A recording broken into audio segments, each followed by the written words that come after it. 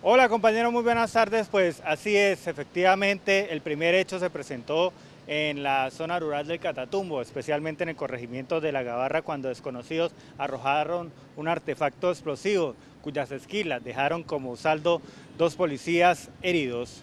Eh, unidades de seguridad del corregimiento de La Gabarra fueron atacados con artefacto explosivo, al parecer con granada los delincuentes aprovecharon que se están realizando una fiesta en este corregimiento y atacaron eh, con un artefacto explosivo a miembros de la policía. Tenemos dos auxiliares heridos eh, de manera leve, estamos buscando la manera de ingresar para realizar la evacuación y pues atenderlos en una unidad médica en la ciudad de Cúcuta.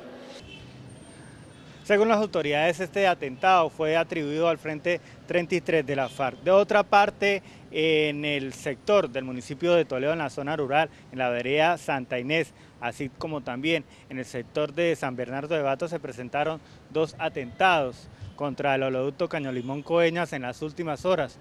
Eh, en este último, en el sector de San Bernardo, eh, las autoridades de socorro eh, dieron a conocer o desplegaron un plan de contingencia debido a que se presentó un incendio de grandes proporciones. Por el momento la empresa Ecopetrol ha sustraído o ha detenido todo el bombeo por este tramo del oleoducto Caño Limón Coveña. Pues estaremos pendientes de esta información en nuestra misión de las 10 de la noche. Mientras tanto, compañeros, continúen ustedes con toda la información de Oriente Noticias. Muy buenas tardes.